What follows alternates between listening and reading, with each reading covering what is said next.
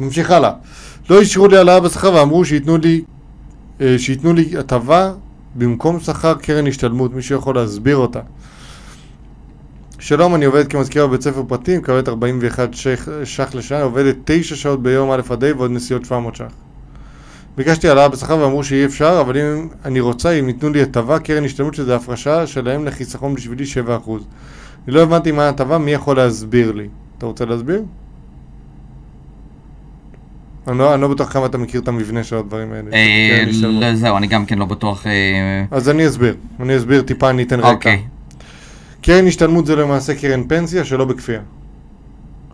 אתה לוקח אה, איזשהו מוסד שמוכר קרנות השתלמות, אתה משקיע שם, אה, סתם אני אתן לך דוגמה, אה, בישראל התקרת השקעה פטורה ממס זה כמעט Mhm. 18,500 אלף שקל, ושם זה כמו, כמו פנסיה לכל דבר ועניין. והמעביד על- גם כן מפריש, וזה בעצם ה... לא, לא, לא, לא. המעביד, המעביד, לא, המעביד לא מחויב להפריש. אה, אוקיי. פנסיה אתה מחויב. קרן השתלמות אתה לא מחויב, זה לפי התנאים שסיכמת עם העובד. אם בכלל. בסדר? אבל אז- זה כתוב, "כ- אה, הם ייתנו לי הטבה, קרן השתלמות, שזה הפרשה שלהם לחיסכון בשבילי 7%. כן, אז מת...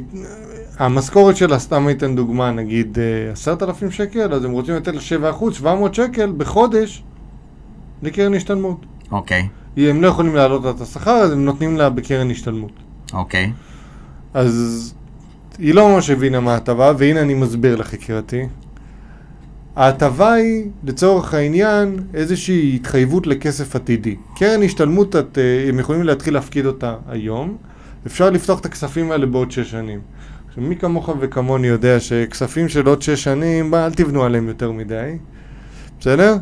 אבל אם היום אתם הולכים, אה, את הולכת, אה, את הולכת לקבל את זה, הדבר הראשון שאני הייתי עושה, הייתי מקבל את הדבר הזה בשתי ידיים, כי כל כסף עדיף שהוא יהיה שלך מאשר כסף על העץ, ואז אני הייתי חושב איך הייתי פודה את הקרן השתלמות הזאת ברגע ש... it's about to come, כי אתה יכול לפדות קרן השתלמות בתשלום של 30 או 35 אחוז מס, כן, כן. אבל עדיף שגם זה יהיה לך מאשר שלא יהיה לך כלום. אז זהו, אז אני, אני הייתי נותן שני דברים לשקול, כן, וזה קשור למה שדיברנו קודם.